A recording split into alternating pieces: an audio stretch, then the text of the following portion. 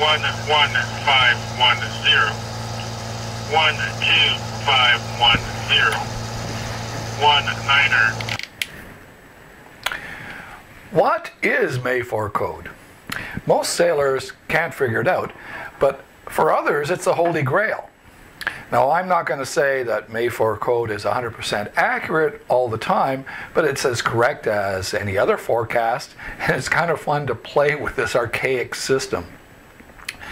It's something you can show the kids or grandkids, keep them busy for hours while they're on your boat.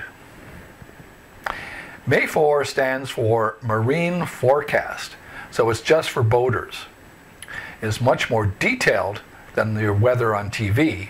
It gives you wind direction, wind speed, the general weather, and the greatest thing of all, it gives you the times when all this weather is going to happen. Now, it doesn't give you wave height, but never mind, because if it gives you wind speed, if there's wind, there's going to be wave height. I'm Alan Stokel. So, on this episode, how to decode MAFOR code.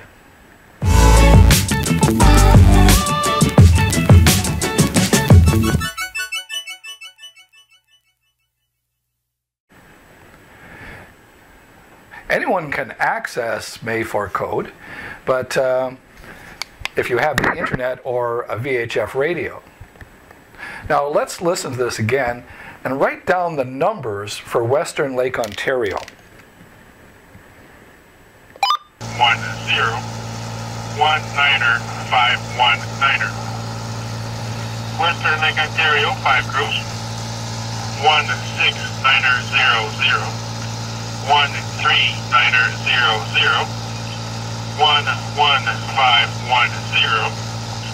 One three five one zero. One niner five one niner. These Not easy, is it? You should replay this until you have all five of those codes. Remember, each code starts with one, and only the last four really mean anything. There are five codes for Western Lake Ontario. Six nine zero zero three nine zero zero one five one zero three five one zero one nine one nine. Now, let's look at the first one.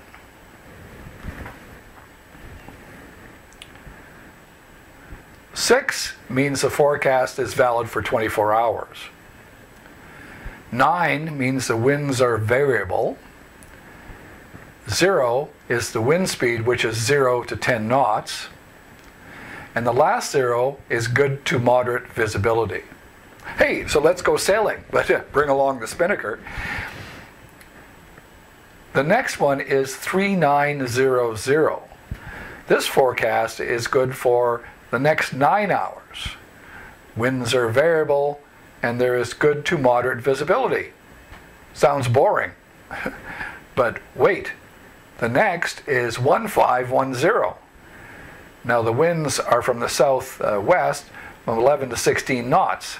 The next one is 3510, meaning the winds within the next nine hours are from the southwest at 0 to 10 knots.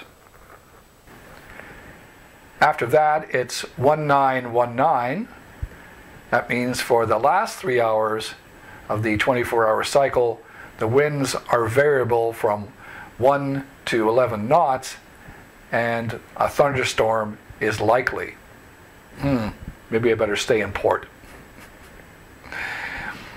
If you would like a copy of my MAFOR sheet, uh, please email me at the address below. I'm Alan Stokel. Thank you for watching.